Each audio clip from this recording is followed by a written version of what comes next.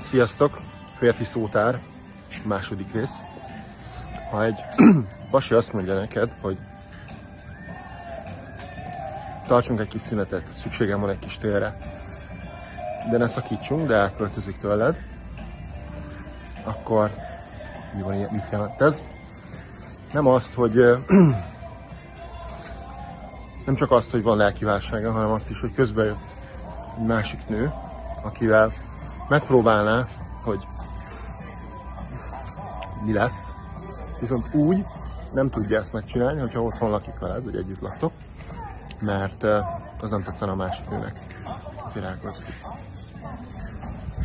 Aztán azért nem szeretném, hogy szakítsatok, mert hogyha még nem tudja, hogy mi lesz azzal a nővel, hogy sikerül-e megdugnia vagy sem, hogy bármi jobb lesz-e vele, mint veled, és mivel nem tudja, ezért szeretné megtartani biztos terepet, azaz téged.